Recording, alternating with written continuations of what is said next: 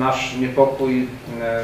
a wręcz e, trwogę budzi decyzja, którą podjęto w Urzędzie Marszałkowskim, na bazie której e, nowa dyrekcja szpitali połączonych, czyli Morskiego i Szpitala Miejskiego, postanowiła przemieścić ze szko- szkodliwym dla mieszkańców Gdyni skutkiem oddział kardiologiczny z budynków Szpitala Morskiego do Szpitala Miejskiego, przenieść z Miejskiego inne oddziały. I w naszym przekonaniu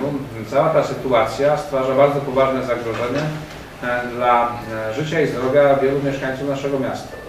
Gdyż e, dobrze i sprawnie funkcjonujący oddział kardiologiczny naszego szpitala, jeszcze do niedawna, wyposażony także między innymi dzięki ofiarności mieszkańców Gdyni, gdyż przez lata całe oddział kardiologiczny był wspierany przez fundację, do której w skład której tak naprawdę wchodzili mieszkańcy Gdyni, nie tylko. E, Przez ten fakt e, i wsparcie finansowe fundacji ocenia się powszechnie i to w opinii fachowców jest to potwierdzane, że jest jednym z lepiej wyposażonych i przygotowanych do swoich funkcji oddziałów w naszym regionie. Przeniesienie tego oddziału do szpitala miejskiego, do budynku przy Placu Kaszubskim stwarza realne e, zagrożenie e, obniżenia funkcjonalności, zmniejszenia sprawności, a przez co e, może stworzyć zagrożenie dla życia e, ludzi. Nie ukrywam, że przygotowujemy jako zarząd miejski SLD e, dokument, doniesienie do prokuratury, aby zbadała, czy rzeczywiście e, ta cała operacja nie spowoduje e, takich realnych zagrożeń. Powinniśmy się z tym uporać do przyszłego tygodnia i e, takie dokumenty przedłożymy, aby prokuratura zbadała, na ile decyzja i zezwolenie właściciela, czyli Urzędu Marszałkowskiego może stanowić zagrożenia m, dla nas wszystkich, szczególnie dla tych, którzy muszą korzystać e, z usług tego oddziału kardiologicznego. Wracając do e, ważnej jak dla nas sprawy, czyli oceny 100 dni funkcjonowania e, nowej kadencji Rady Miasta Gdyni i prezydenta, pozwolę sobie przedstawić tylko trzy sprawy, które w naszej ocenie, dzień dobry, witamy kolejnego kandydata.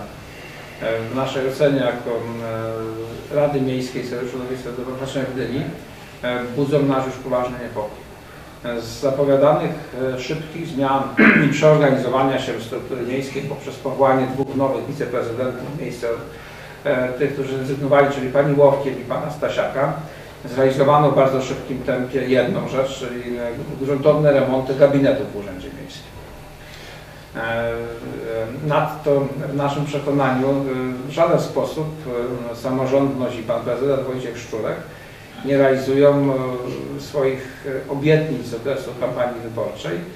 trzech sprawach. Po pierwsze e, w zakresie szybkiego wyjaśnienia problemu związanego z zainwestowaniem publicznych pieniędzy w kwocie prawie 100 milionów złotych w budowę e, w inwestycję, która tak naprawdę miała kruche podstawy, czyli lotnisko w Kosach Gdyni, Kosakowie, czy w Kosakowie Gdyni, bo tak naprawdę 90% tego terenu jest na obszarze gminy Kosakowa, tylko niewielki fragment jest w Gdyni. E, Po drugie, obiecywano nam wielokrotnie, mówię tu o wszystkich mieszkańcach naszego miasta, że tym razem e, polityka planowania przestrzennego, jak i polityka inwestycyjna miasta e, będzie z większą rozwagą, ponieważ brakuje nam środków.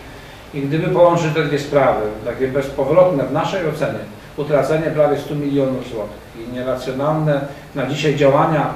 e, Urzędu Miasta czy prezydenta polegające na szybkiej wyprzedaży resztek nieruchomości komunalnych po to, żeby można było tam uruchomić inwestycje, stwarzają takie oto zagrożenie, że e, miasto za 8 do 20 lat, wbrew temu co Pan Prezydent nam obiecuje w swoim programie, że buduje pewne zdarzenia z perspektywą pozytywnego działania na 10-15 lat do przodu, stanie oto w takiej sytuacji, że nie będzie już czego sprzedawać tej naszej Gdyni, nie będzie z czego finansować deficytów, które stały się e, za przyczyną nieodpowiedzialnych, niekompetentnie podjętych decyzji, w tym decyzji o zainwestowaniu komunalnych, miejskich pieniędzy w budowę tego lotniska.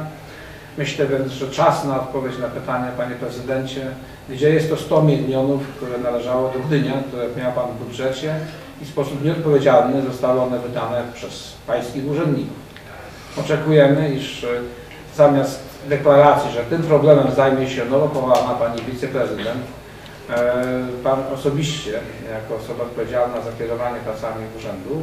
e, weźmie na siebie odpowiedzialność za wyjaśnienie tej sprawy. Kolejnym obszarem, e, który budzi nasze niepokoje jest praktyka wprowadzona w tych pierwszych 100 dniach, bo można powiedzieć w cudzysłowie, że jest to wielkie osiągnięcie Urzędu Miasta czy Pana Prezydenta, polegające na tym, że przynajmniej jedna znana nam kontrowersyjna inwestycja, która była przed wyborami oprotestowana przez mieszkańców i w ramach kampanii wyborczej teoretycznie zamrożona, została natychmiast po ukonsultowaniu się E, pana prezydenta Rady Miasta e, uruchomiona ponownie. Mówię tutaj o zabudowaniu boiska szkolnego przy Szkole Podstawowej 23 na ulicy Grodgera Syrokombi. E, dla przypomnienia powiem tyle, iż jeszcze w marcu 2014 roku i w kwietniu na skutek mieszkańców, protestów mieszkańców tych okolic, jak i Rady Dzielnicy z Górze Maksymiliana,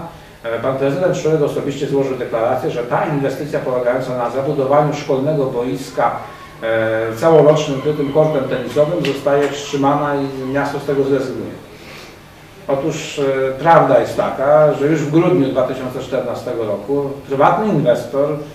po zakończeniu kampanii wyborczej przystąpił do kontynuacji prac budowlanych i boisko, które przez kilkadziesiąt lat służyło okolicznym mieszkańcom, dzieciom, uczniom, zamienia się powoli w dwie przepiękne kryte hale do, do gry w tenisa, a wiceprezydent odpowiedzialny za sprawę edukacji, nowy nabytek pana prezydenta, wypowiedzi e, dla mediów i dla mieszkańców informuje, że przecież to będzie z pożytkiem dla uszu, bo inwestor obiecał i zdeklarował, że przez 4 godziny w dniach e, nauki w szkole dzieci będą mogły grać w tenisa. No to proszę panie prezydencie pokazać mi te tłumy dzieci ze szkoły 23 i okolic, które będą tam grały w tych e, krytych halach w tenisa. Tak więc w naszej ocenie te pierwsze 100 dni e, koncentrowały się w naszej władzy na remontowaniu gabinetów dla nowych wiceprezydentów, na wymianach personalnych oraz na e, realizacji w trybie przyspieszonym, podjętych jeszcze chyba przed wyborami zobowiązań różnych inwestorów, wbrew woli i interesom mieszkańców. Oto jest dorobek tych pierwszych 100 dni Bądźmy ufni i miejmy nadzieję, że następne setki dni, które przyjdzie rządzić panu prezydentowi Szczurkowi, to będzie lepszy czas dla naszych e, portfeli jako podatników, to będzie lepszy czas dla mieszkańców miasta w kategoriach podejmowania przez prezydenta i urząd miasta racjonalnych decyzji inwestycyjnych. W dalszym ciągu czekają nierozwiązane problemy, takie jak chociażby skomunikowanie e, Chyloni z y, ulicą Putniczą. Pan prezydent obiecywał, że to się rozwiąże bardzo szybko. Jak na razie nie podjęto nawet próby y, zanalizowania tego zagadnienia, mimo tego, że te 100 dni byłby dobry czas na podjęcie chociażby decyzji o tym, że przeanalizujemy możliwość zbudowania albo tunelu pod polami, albo kładki, żeby skomunikować dodatkowo ten obszar, szczególnie za trasą Kwiatkowskiego.